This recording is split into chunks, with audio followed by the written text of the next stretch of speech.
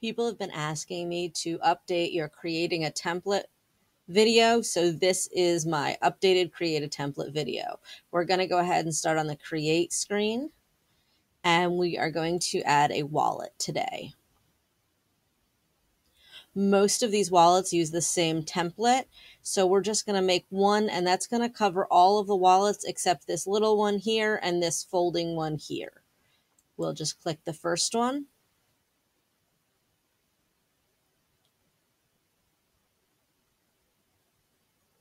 and it just takes a moment to bring the screen up and we skip this step.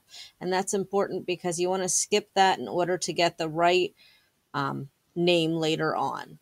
I'll show you in a moment. Now you can see all of these wallets will be available just by making this one template. So you don't need to make each of these other wallets in addition. What we're going to do is go ahead and hit add image.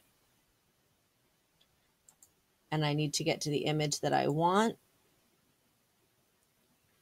the images that I'm using today are going to be some pattern images. And I want this to not have those white stripes on the edges. So I'm going to go ahead and go in here and tell it to fill. And the options are fit or fill in there. What fit would do is it fits the longest side and as opposed to the shortest side. Fill will fit the shortest side and the longest side will simply overlap. If you wanted to see it in a different view, you can look at it in a different view. Those options are all available. So if you were to arrange and use fit, it would fit it this way, leaving a white gap at the top and bottom, and I don't want that. So I'm going to use fill. I design all of my images to the same dimensions so that the fill will always work for them. Even on this case where it overlaps, I have the images designed to allow for some bleed. The next thing we're going to go ahead and do is we're going to click the gear wheel and say, make this a template object. This is a very important step. Always make sure the UR parameter name is image zero with no spaces, no capitals. Every single product you need to do this for if your product is something like a coffee mug or a purse that has two sides, the second one will come up and say image one, image one with no spaces. You need to change the second line to a zero. The first line does not matter in this case. Then I'm going to go ahead and set this to fill because I always want it to fill. And I'll close this window and hit post for sale. Now, because this is a template section and no one's going to see it, I just kind of put an A in each of these. I say it's for anyone.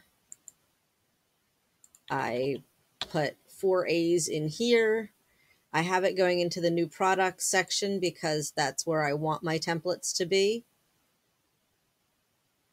It is G rated we want it public, we wanted a template, and we want it to be customizable. So nothing there has to change. Yes, I want to publish this, and I've set my royalty rate, and I'm going to post it. Now we're going to go back and we're going to do another product. And I click the create button just out of habit and come back to this screen. We will go ahead and do something that would involve two sides and what we'll do is we'll do a business card. This way you can see how to do a front and back image. This would also apply to coffee mugs if you want the image on both sides. You would go ahead and use this same technique. Again, we wait for it to pop up and then we skip this step and say add image.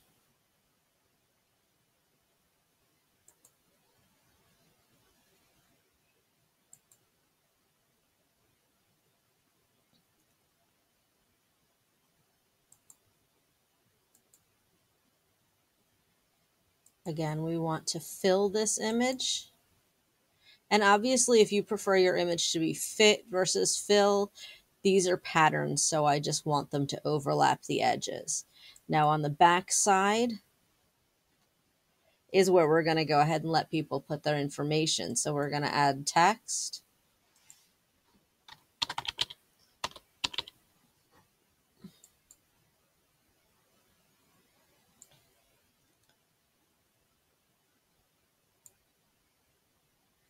And what we want to do when we make this into a template is this time the top line here, you do want to name it.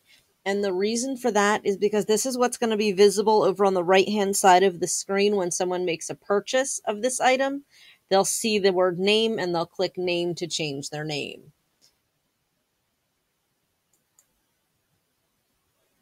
I'm not going to go ahead and fill this whole thing in right now just because my video has to be timed. So I only have a limited amount of time. Always click back to whichever image you want to be the front one before you hit post for sale. And then again, we're just going to fill this out quickly because we do want this to simply be a template. No one's going to see it.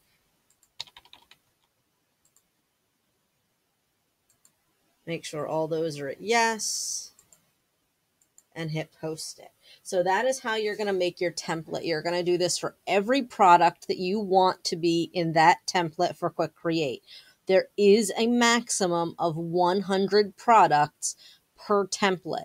So if you're going to go over 100, that means that you're going to need to put the second 100 into a separate folder section, whatever you want to call it. And then what you'll do is you'll add the image to the first section, which for my case, you could see was called new product. And then I might make a second one and call it new product two. And then I would go back and add the image a second time using that second template if I wanted more than 100 products with this design on it. That is the only way to currently do it. The next video I'll be making will be how to use Quick Create in order to access these templates.